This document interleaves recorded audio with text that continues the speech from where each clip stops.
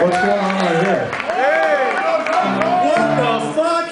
Speaking about breaking songs, Does that mean we don't have to pay Casey for this song because he's not playing?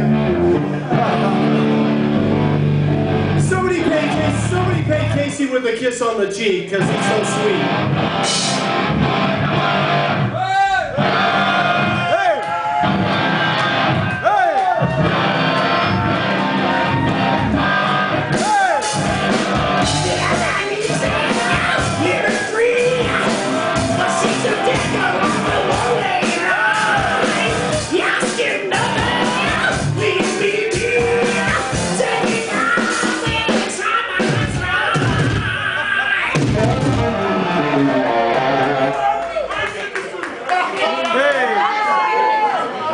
Just